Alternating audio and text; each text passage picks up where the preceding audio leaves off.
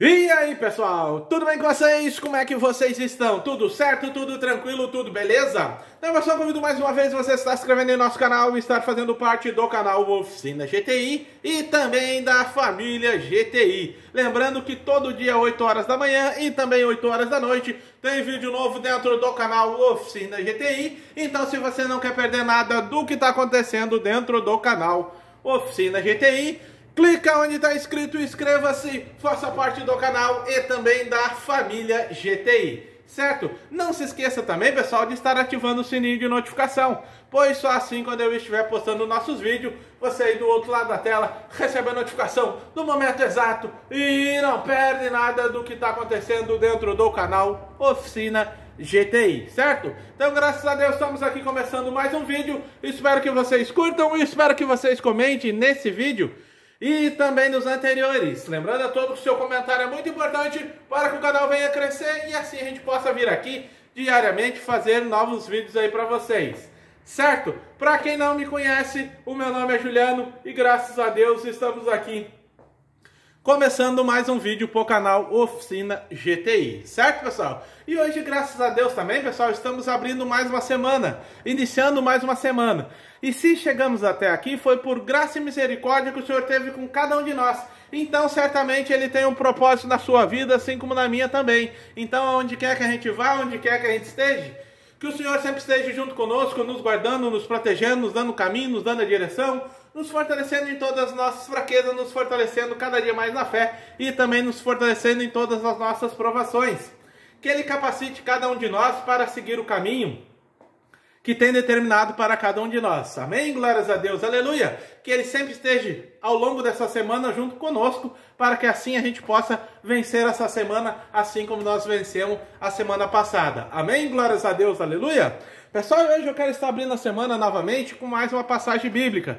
E convido vocês também a estar buscando a leitura da Bíblia uh, diariamente, semanalmente, uh, constantemente, certo? E hoje eu quero estar abrindo a semana com o livro de Jó. O livro de Jó é o 18 do Novo do Antigo Testamento e ele é composto por 42 capítulos, certo? Uh, quem puder estar lendo, leia esse livro e, se, e siga lendo os demais, ou, ou os próximos, ou os, os que estão para trás aí, certo? Então vamos hoje novamente com Jó capítulo uh, 10, versículo 1. Preste atenção que diz essa passagem bíblica. Jó suplica a Deus. Aí começa assim, ó. A minha alma tem tédio da minha vida. Darei livre curso à minha queixa falarei na amargura da minha alma. Amém? Glórias a Deus, aleluia. Então, pessoal, quem foi Jó? Jó foi um homem muito rico, tinha bastante animais, e se tinha bastante animais, tinha bastante terra. E ao longo da sua vida, certo momento ele perdeu tudo. Perdeu os animais, perdeu as terras, perdeu os filhos e ficou, uh, entre aspas, só. Não ficou só porque ele se voltou mais ao Senhor, certo? Então, Jó foi provado pelo inimigo, pois muitas vezes as pessoas uh, buscam o Senhor só para recompensa. E foi isso que o inimigo disse para Deus que ele estava buscando porque estava bem de vida tudo estava bem. E o Senhor permitiu que ele tocasse Jó, e dali então uh, o inimigo tocou Jó e ele perdeu tudo, porém lá na frente o Senhor vai devolver tudo em dobro para ele. Então aquilo que eu sempre digo, não se preocupe com o que as pessoas acham, com o que as pessoas pensam ou deixam de pensar. Se preocupe com o que que você está sendo, o que que está sendo e o que que Deus está vendo vocês ser, assim como eu também. A palavra serve para vocês e serve para mim também, principalmente para mim, certo? Então, a gente tem que se preocupar com as nossas coisas e se voltar ao Senhor e se voltar cada vez mais ao Senhor, não pelos bens financeiros. No caso ali, o Jó perdeu tudo, porém o Senhor, uh, ele se manteve no Senhor. Então não era os bens que o, o Jó não estava buscando o Senhor por causa dos bens, e sim Jó estava buscando o Senhor de livre e espontâneo coração. E isso faz toda a diferença ao longo da nossa vida. Agradeço o Senhor pelas coisas que nós já recebemos, não pelas coisas que ainda vamos receber, pois a gente não sabe o dia de amanhã, então a gente tem que focar no hoje, e no hoje é agradecer ao Senhor pelo que a gente tem, certo? Creia nas promessas do Senhor, busque o Senhor constantemente, pois no tempo certo Ele livrará uh, cada um de nós. Amém? Glórias a Deus, aleluia. Tenho todos novamente aí um excelente e abençoado início de semana. Pessoal, hoje eu vou fazer um vídeo de quadriciclo para todos vocês, mas em especial aí para um seguidor nosso. Sempre que possível a gente vem aqui e faz os vídeos para vocês, certo? O vídeo de hoje é especial aí, ó. Deixa eu só achar aqui. Para, se eu não me engano, é Juarez Souza. Deixa eu achar aqui para a gente ver. Para aí, para aí.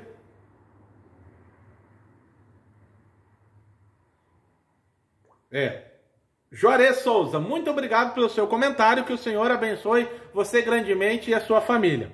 Veja só qual foi o comentário de Juarez Souza aí. Bom dia, ajuda por favor. Comprei um pro meu filho faz um mês e estava tudo certo, mas um dia quando ele parou de andar, a gasolina ficou vazando pelo ladrão, ou seja, pelo suspiro, uh, ou pelo respiro. E, e ontem eu liguei ele, um, pegou, mas quando eu baixei o afogador, ele morre, ou seja, ele apaga. E agora não pega mais. Então nós temos dois quadriciclos. Esse comentário foi feito no vídeo de quadriciclo. Jo, uh, Juarez Souza, novamente, muito obrigado pelo seu comentário, que o Senhor abençoe grandemente você e a família. Pessoal, nós temos com dois quadriciclos aí, eu já vou aproximar para vocês, para vocês verem. Dois quadriciclos, 49 cilindradas. Um está com aparência um pouco melhor e o outro está com aparência um pouco inferior a o outro, certo? Porém, aqui nós não fizemos distinção de aparência, eh, seja de equipamento ou seja por uh, questões financeiras. Cada cliente meu, ele tem o mesmo cuidado, certo? Então nós vamos deixar os dois quadriciclos padrão oficina GTI. Já vou aproximar ali para vocês ver de perto os quadriciclos. Segura. Tá, pessoal? Deixa eu mostrar ele assim para vocês mais de perto aí, ó. Eu já desmontei ele parcialmente, esse aqui, para passar o orçamento, e aquele ali também, certo? Porém, vamos ter vídeo essa semana, perdão, dos dois quadriciclos aí.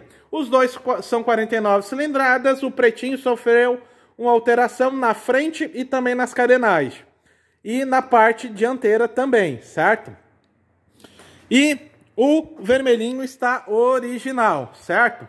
Então eu vou posicionar vocês aqui agora para a gente responder o comentário aí Então, pessoal, vamos seguir o baile que nem a gente diz aqui no sul, certo? O comentário de Juarez Souza é que pegava, andava bem, era novo, mas desligou e começou a pingar combustível, certo? Dali para frente não pegou mais, ou melhor, ligou, mas quando baixa o afogador ele uh, desliga, ele morre e depois não pegou mais. Primeiramente, a gente tem que olhar a parte de ignição. Por que a parte de ignição? Porque a parte de ignição vai dizer o cuidado que estava tendo o motor, certo? Eu não sei se vai aparecer lá no outro. Deixa eu ver se eu consigo virar aqui um pouquinho. Para aí. Deixa eu só tirar desse outro aqui, só para vocês verem um motor diferente do outro apesar que os motores são iguais. Então, por que um motor diferente do outro? Pelo simples fato que um cuida de um jeito e outro cuida de outro jeito. Sendo que, diante disso, o que, que acontece? Primeiro, no dois tempos, a gente tem que cuidar a mistura do combustível. Caraca! A mistura do combustível. A mistura do combustível ela é muito importante para fazer com que o dois tempos funcione bem. Senão vai viver dando manutenção, seja novo ou seja antigo, certo? Aqui está a vela desse outro aqui, ó. Se a gente for olhar, vocês vão ver nitidamente a diferença. A vela, pessoal, ela não se avalia por fora, e sim a parte interna. Esse cliente aqui está cuidando mais do motor do que esse cliente. Essa mistura aqui está saindo uh, errada. Por quê? Porque ela está branca. E se ela está branca desse jeito, está indicando que está superaquecendo, certo? Esse outro aqui também está errada, mas aqui vai dar mais problema do que a do vermelhinho, certo? Então vamos seguir em frente. No caso do Juarez, ele vai ter que desmontar e fazer uma revisão no motor. Mas uma revisão aonde? Principalmente no carburador. Principalmente. Mas o ideal é fazer uma revisão geral. Certo? No caso aqui, eu vou tirar esse carburador. Que eu vou começar a manutenção por esse aqui. Então a gente já vai desmontando para fazer o nosso trabalho e vamos respondendo o comentário. Se ele vazava combustível, já indica que, até comente aí para nós, Juarez, ele não deveria pegar bem. O que, que seria pegar bem? Seria pegar em até quatro puxadas de corda. Ele deveria dar aquela reinada do dois tempos, que todo mundo diz que o dois tempos incomoda, certo? Então o que, que acontece? Ele já não pegava bem. Dali para frente, ele deu andada, provavelmente ele faz mistura a óleo, ele não usa óleo de boa qualidade, não usa óleo no percentual correto também. Isso tudo vai fazer com que sofra algumas consequências. E essas consequências vai se dar dificilmente de instantaneamente, e sim posteriormente, gradativamente. Então, diante disso, vai sujando e vai ficando cada vez pior, até chegar ao ponto de ficar muito ruim e de não funcionar mais, que é o caso que está acontecendo lá com o Juarez. Então, revise ele inteiro, eu revisaria ele inteiro, mas se quiser fazer uma meia sola, faça carburação, desmonte o carburador. O carburador ele está trancando, está transbordando por causa do que? Por causa da sujeira. E essa sujeira vai fazer com que não, fa não haja uma boa vedação no componente que faça o fechamento do, do combustível, que está aqui dentro. Então, toda vez que a gente tiver algum problema, as pessoas vão ter que trabalhar com esse carburador ou aberto ou fechado, certo? Esse aqui até está travado aqui, ó, não consigo fazer ele movimentar, certo? Mas o que que acontece? Não pode trabalhar assim. Afogador é só para hora de pegar. Então, puxou o afogador, ele vai dar a partida, já tem que tirar o afogador e ele já tem que estabilizar, certo? Então desmonte o carburador inteiro, todo o componente, desmonte o registro e desmonte a parte de baixo dele também. Que é através desses dois parafusos. Quando for fazer esse serviço, faça a higienização, uma boa limpeza no carburador e faça uma limpeza através de combustível juntamente com ar comprimido. Se eu só passar gasolina, só lavar com tiner, ou seja o que for, não vai ter resultado. Temos que passar ar comprimido em todo o componente. Se vocês observar aqui, ó, eu não sei se vai dar para vocês ver, mas eu acredito que talvez possa pegar. Vamos ver se foca ali, ó. Ó, note que ali tem uma bolinha, certo? Essa bolhazinha está dizendo que tem líquido aqui dentro.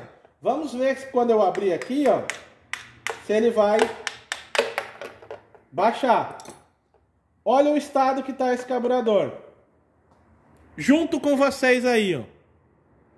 Será que está sujo? Vamos virar o outro lado? Olha aí para vocês verem. Então isso que está acontecendo no carburador do Juarez ou no seu carburador.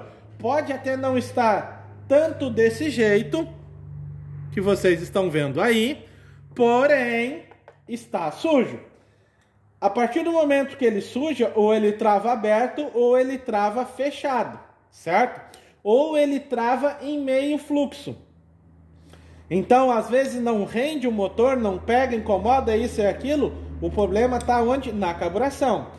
Só que não adianta só eu fazer uma limpeza aqui e não revisar tanque, não revisar ignição e o restante inteiro. Porque uma coisa vai puxar a outra. Revisei inteiro e não cuidei o combustível, não utilizei óleo no percentual correto, não utilizei a gasolina no percentual correto, vai dar manutenção, vai ficar incomodando. Tem que limpar todo, colocar mangueira, filtro novo e limpar o tanque. Aí fica um serviço 100%, padrão oficina GTI. Então, diante disso, desmonte, limpe, já pega o combustível que está velho aí, coloque ele para descarte, deu ah, o descarte correto e posteriormente coloque combustível, faça toda a limpeza, coloque filtro de combustível novo e faça funcionar que vai ficar 100% aí o equipamento, certo? Veja como é que tá esse aí, ó. Posteriormente eu vou abrir o outro carburador lá e vou mostrar para vocês também, no, talvez no próximo vídeo, certo? Então espero que eu tenha ajudado. Quem gostou do vídeo, deixa aquele like para nós, comente, compartilhe, se inscreva no canal, mande para o grupo da família, dos amigos, dos conhecidos, mande para aquelas pessoas que vocês não têm uma boa relacionamento, mande o nosso vídeo também. Brincadeira, pessoal, certo? Então tenho todos aí uma boa noite, fiquem todos com Deus, até o próximo vídeo e fui!